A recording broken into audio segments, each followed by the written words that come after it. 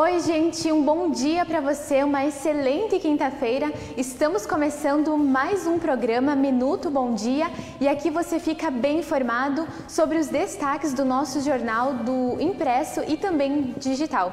Nós estamos ao vivo aqui pela TV Bom Dia, então você pode participar deixando seu comentário, diga para nós ah, de onde você está nos assistindo e também compartilhe toda a nossa programação. Neste momento, agora nós vamos ao site do Bom Dia para ver os principais destaques desta quinta-feira. Nós temos aqui em relação à Prefeitura que até abril a Prefeitura destinou mais de 54,5% do seu orçamento para saúde e educação.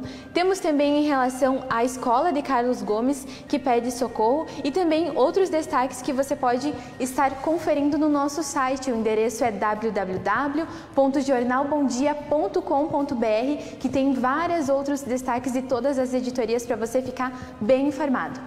E agora nós vamos saber quais são as informações da edição desta quinta-feira do Jornal Bom Dia Impresso Digital, que já está aqui em nossa capa sobre a economia. Erechim gera 170 novos postos de trabalho em abril. Na página 2 você confere sobre qualificação. O Senac recebe uma nova tecnologia para ensino flexível. Temos também aqui na página 3 sobre a economia em relação aos trabalhos e na página 4 temos os artigos artigos de opinião para você conferir também. Na 5, sobre o Alto Uruguai, está aberta a colheita de erva mate no estado. Depois, na página 6, para quem busca uma oportunidade, a agência do Cine oferece 395 vagas de trabalho aqui na cidade. Página 7, Erechim, cerca de 100 pessoas participam de triagem preventiva ao glaucoma, é um destaque da saúde.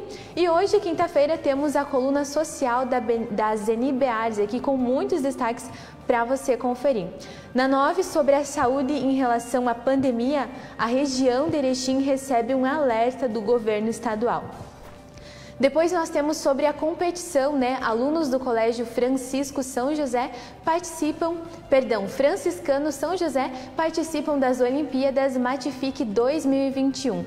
Temos também em relação à URI, que a reitoria lança uma série para aproximar a comunidade e universidade.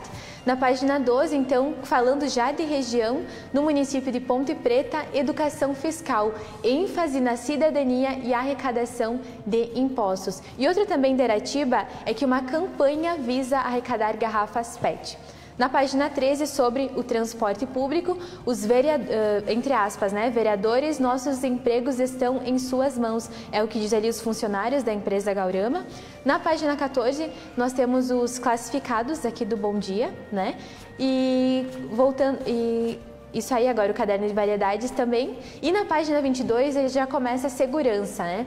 Um rapaz morre 17 dias após ser baleado em Erechim. Temos também sobre o tráfico, né? Um adolescente detido com 21 pedras de crack e dinheiro.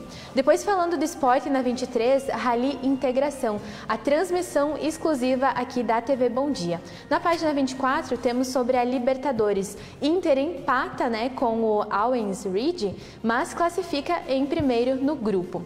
Nós lembramos que o jornal impresso do Bom Dia já está nas bancas e você pode adquirir o seu, porque além desses destaques, tem outras informações que você vai poder conferir. Se você não é assinante, liga aqui no 3520 8500 e aí você vai ficar sabendo como você pode ser assinante.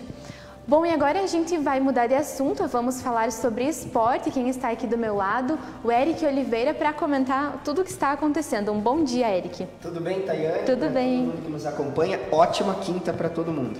E agora falando então, faltam três dias para o Rally Integração né, de Aratiba. Estamos todos na contagem regressiva, faltam três dias. O Rally Integração que acontece pela sua primeira vez no município de Aratiba, é o pontapé inicial, é a largada inicial do Campeonato Gaúcho de Rally, que acontece no domingo, e eu lembro a matéria que nós temos aqui nesta quinta-feira, que este rally, sem a presença de público, nós reforçamos isso, Inclusive, para quem tiver conhecimento do local onde será realizados os especiais, não pode ir ao barranco, porque, porque senão pode inclusive acabar comprometendo a prova e o cancelamento dessas especiais. Mas nós aqui, a equipe da TV Bom Dia, estará nessa transmissão no domingo. A primeira, a primeira entrada ao vivo começa às 7h30, estaremos lá na linha polonesa. Depois, inclusive, com um compacto com os vencedores do Rally. Vai ser um domingo bem movimentado, estamos todos esperando muito para este início do Rally também que imagino e tenho a esperança também que o Campeonato Gaúcho continue agora, que esse seja o pontapé inicial e que as competições elas retornem assim com o Rally também. Realmente estamos bem ansiosos. E agora falando aqui é, do Inter, se o Inter se classifica em primeiro lugar do grupo na Copa Libertadores se classifica em primeiro lugar do grupo com 10 pontos, duas vitórias para cima do Olímpia, uma vitória para cima do Deportivo Tátira e ontem um jogo em que o Inter entrava em campo já classificado, precisava vencer para ou empatar para garantir o primeiro lugar, o empate já era suficiente, bem como foi, empatou em 0 a 0 contra o Always Red, jogo que aconteceu no Beira-Rio e já o colocava como primeiro lugar do grupo. Teve até uma loucura no jogo Olímpia e Deportivo Tátira, um jogo muito movimentado e o Olímpia acabou ficando com a, a segunda vaga, com um ponto a menos do que o Inter, com nove pontos. O Inter fez um jogo ruim ontem, um jogo bem ruinzinho. O Always Red é um time que eu insisto em reforçar, é um time que está à margem, que está aquém de alguma análise, é um time muito fraco, demonstrou isso é, em todas as partidas que realizou na Copa Libertadores, com exceção da primeira que venceu o jogo contra o Inter lá na altitude, mas também um jogo meio que atípico, um jogo bem incomum. Mas o Inter ontem foi muito apático, me preocupou sim. Agora vai ter um mês no Campeonato Brasileiro para colocar esse time para jogar com, com mais volume de jogo. O Inter ontem pouco construiu, com a posse de bola quase que 80%, 90% de posse de bola, mas não conseguiu traduzir isso em chances claras, chances efetivas para conseguir sair com um resultado positivo. O Thiago Galhardo fez um jogo muito ruim e o Inter não convenceu em campo mas o resultado sim foi satisfatório. O Inter classifica como primeiro lugar do grupo e isso dá uma certa tranquilidade para o sorteio da Libertadores para pegar adversários mais fracos. Isso é bom, mas muita coisa precisa acontecer, não só no trabalho da comissão técnica, que denota-se uma falta de convicção ontem no esquema, na escalação e nas substituições durante a partida para o Campeonato Brasileiro e a Libertadores retorna para o Inter na metade do mês de julho. Olha só, e agora falando do Grêmio, né? O Grêmio entra em campo pela Copa Sul-Americana. Com um time de transição, o Grêmio que joga hoje lá no Equador contra o La Equidad. Thiago Gomes, o técnico da transição, estará no comando técnico desta equipe, que conta com 15 jogadores do Sub-21. Vai ser mais um jogo da gurizada. O Grêmio já está classificado.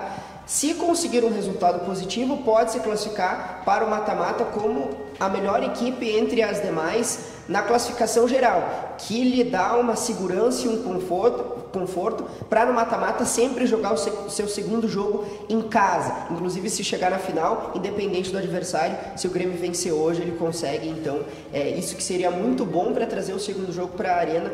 O Thiago Nunes ficou em Porto Alegre, juntamente com o time principal, se preparam para o início do Campeonato Brasileiro contra o Ceará no próximo domingo. Vamos esperar então para ver o que vai acontecer. Eric, muito obrigada pela sua participação. Nós lembramos que ele estará ao meio-dia com mais informações e também no programa Virando o Jogo, que aí você né, fala só sobre o esporte e o pessoal fica bem informado. Muito obrigada, Eric. Um abraço, Tayane, para todo mundo que está nos acompanhando. Bom, e agora nós vamos falar sobre o tempo, né? Para ver como vai ficar o tempo nesta quinta-feira. Você vai conferir aí imagens na sua tela de como está o céu aqui em Erechim.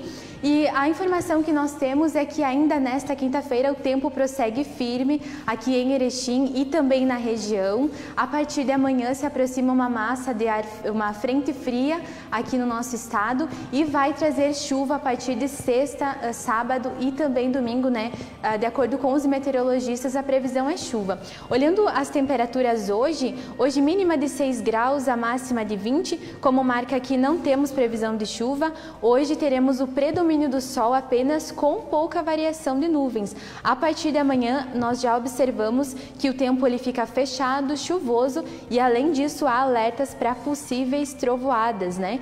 Hoje a umidade relativa do ar ela está um pouco mais baixa, né? 22 graus. E nos detalhes a gente observa que a temperatura sobe mais um pouco à tarde, hoje bem mais quente do que ontem tarde, hoje 20 graus. À noite também esfria um pouco com 10 graus. Os ventos hoje não estão tão intensos, é, é, marca a média de 5 a 7 graus. Mais informações sobre o tempo você confere aqui no site do Bom Dia, em toda a nossa programação, nós trazemos mais detalhes.